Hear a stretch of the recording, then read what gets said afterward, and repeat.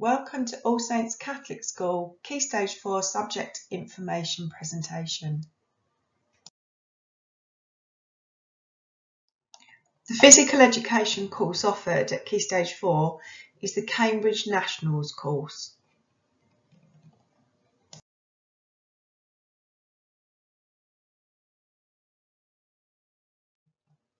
The Cambridge National Certificate in Sports Studies Level 2 will allow you to enhance your knowledge and love for sport. You'll complete four units throughout the course, one being a written exam and three being coursework based.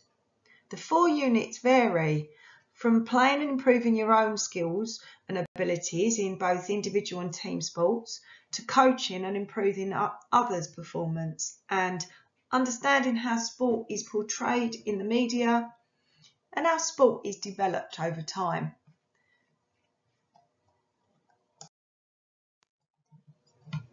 The first unit that you would start with at the beginning of year 10 would be sport and the media.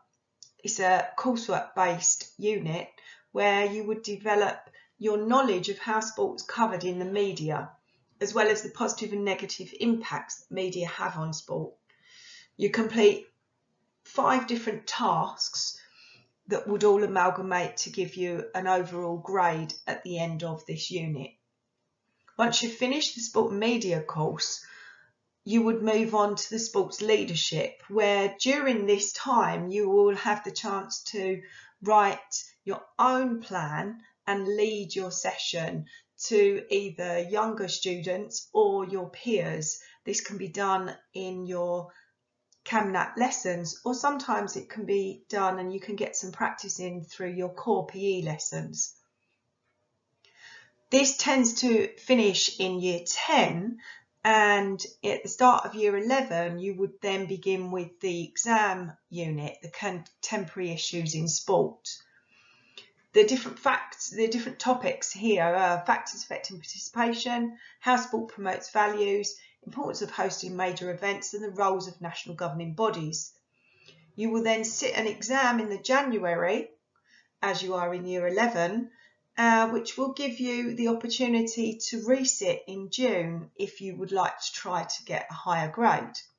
Once you've sat this exam in January, you would then move on to the developing sports skills. This is assessed by the teacher on your practical ability in one team and one individual sport, as well as you evaluating your performance and refereeing or umpiring a, a match of either team or individual.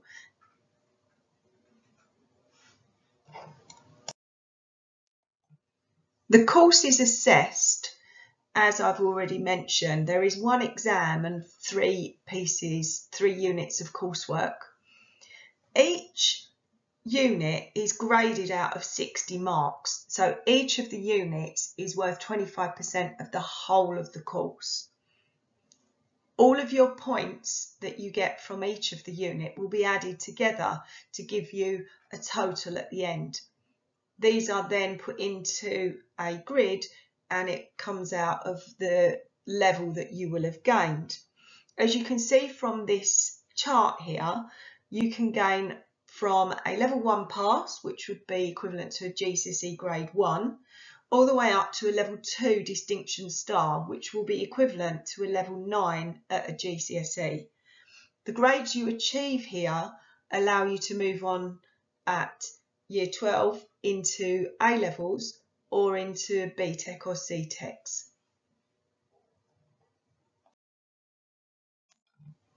Typical lessons depend on the unit you are studying. The exam unit will be in a classroom and sometimes in an IT suite to allow you to do some research to help your knowledge and understanding. The media in sport will be in a classroom, but it will be in an IT suite because you will need to research around the different topics and use quite a lot of examples to back up your your knowledge and information that you're using. The other two units, the practical units, practical sports skills and the coaching unit will generally be taken uh, either around the sports hall field, cage, astro. for the practical elements and then they will be in an IT suite to be able to put all of your information down for your coursework. The coursework will always have to be IT submitted and requires you to be to be working at home as well as in lessons.